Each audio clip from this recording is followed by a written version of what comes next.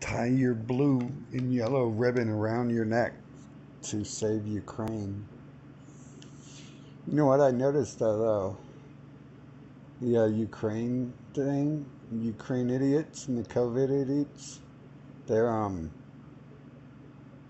they forgot about the giant bunny god idiotism that they generally worship. The giant bunny god is even dumber than the other things they're doing. It's like they're improving. They're actually improving.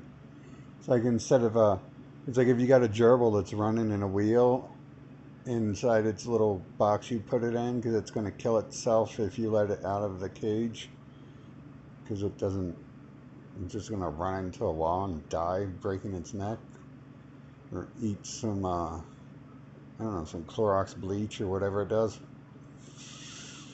And uh, so you got it, it's running, you bought a wheel so it can run inside its cage.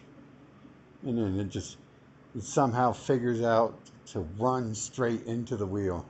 It's running at the side of the wheel, it just runs right into, right into the side of the glass too. And it, it can't figure out how to get that wheel spinning. And it's like, one morning you wake up and your little cute furry pet gerbil, it's it's actually like it's like trying to climb up the wheel. So it's like advanced, you know. It, it it's starting to figure out the wheel. Uh, am I being like over optimistic about the situation?